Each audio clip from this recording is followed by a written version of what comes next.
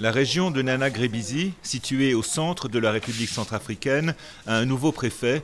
Nommé le 25 août dernier, Abdoulaye Mamat a pris officiellement ses fonctions à Kagabandoro le 9 octobre. Âgé de 55 ans, il est père de quatre enfants. Je suis là euh, d'abord un pour représenter le gouvernement euh, dans cette préfecture de euh, la Nana Grébizi, située au centre du pays. Je suis venu là pour représenter le gouvernement, comme je l'ai dit.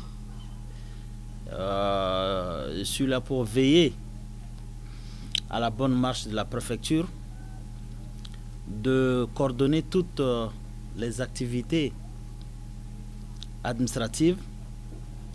Je suis là également pour euh, recueillir les besoins de la population et essayer de les transmettre à marché si c'est nécessaire. Ce qui me semble être prioritaire ici, euh, vous le savez, c'est la situation de détresse dans laquelle euh, se trouve la population de la Nana Gribizi. Vous savez, euh, c'est une histoire assez sombre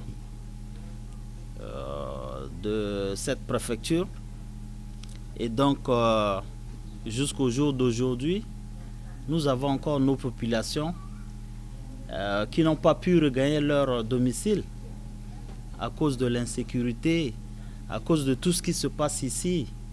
Ils sont là euh, dans les différents sites et je crois qu'il ne peut pas y avoir d'autre priorité que de voir ces populations un jour regagner leur euh, domicile respectif. Je crois que ça, ça me tient encore.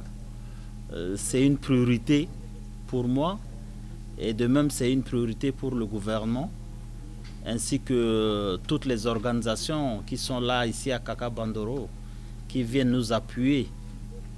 Euh, l'autre objectif, c'est de voir la paix revenir dans cette préfecture, de voir la cohésion sociale, le vivre ensemble euh, se manifester concrètement et aussi euh, de souhaiter que la libre circulation soit une réalité.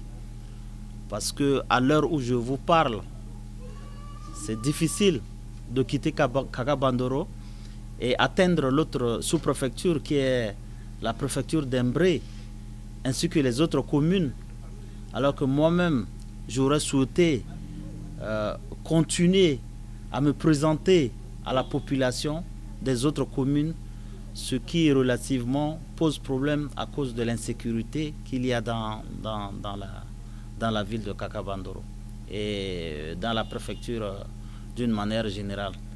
Donc voilà, à peu près ça, c'est, je ne parlerai pas des, priorités, mais c'est des urgences.